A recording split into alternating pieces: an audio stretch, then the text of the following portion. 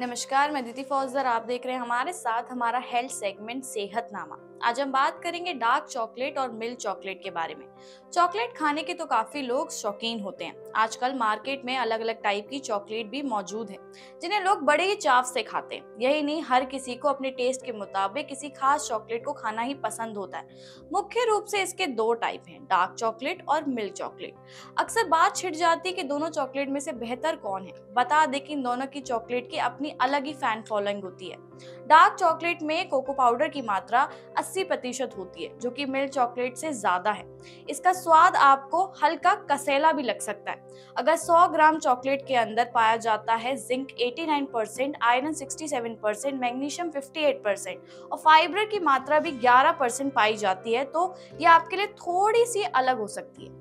इसके अलावा इसमें पोटेशियम और सेलियम की मात्रा भी सबसे ज़्यादा पाई जाती है। मिल्क चॉकलेट में दूध और चीनी अधिक मात्रा में पाया जाता है। इसके लिए मिल्क चॉकलेट में 100 ग्राम में देखा जाता है कि उसमें 535 कैलोरीज देखने को मिलती हैं, जबकि डार्क चॉकलेट में इसकी कैलोरीज सिर्फ़ 600 परसेंट ही आपको देखने को मिलेगी। डार्क चॉकलेट की तुलना में मिल्क चॉकलेट में आपको ज़्यादा पौष्टिक तत्व कम पाए जाते हैं। इसके अलावा इसमें शुगर कंटेंट भी सबसे ज़्यादा होता है। ऐसे में इसका अधिक सेवन आपके लिए सही नहीं है। ऐसे में जानते हैं कि सेहत के लिहाज से किसे खाना आपके लिए ज़्यादा बेहतर होगा। अगर आप भी इस बात को लेकर कंफ्यूज हैं कि दोनों में से किसे चुने तो आपको बता देते हैं कि सेहत के लिहाज से डार्क चॉकलेट आपके लिए ज़्यादा अच्छी है। चाहे मेटाबॉलिज्म को बूस्ट करने की बात हो या हार्ट को हेल्दी रखने तक की बात हो या ब्लड प्रेशर को भी कंट्रोल करने की बात हो, हर पैमाने पर डार्क चॉकलेट आपके लिए ज़्यादा फ़ायदेमंद है।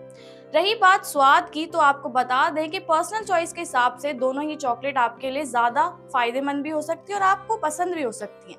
हालाँकि आपको दोनों का सेवन सही मात्रा में ही करना चाहिए।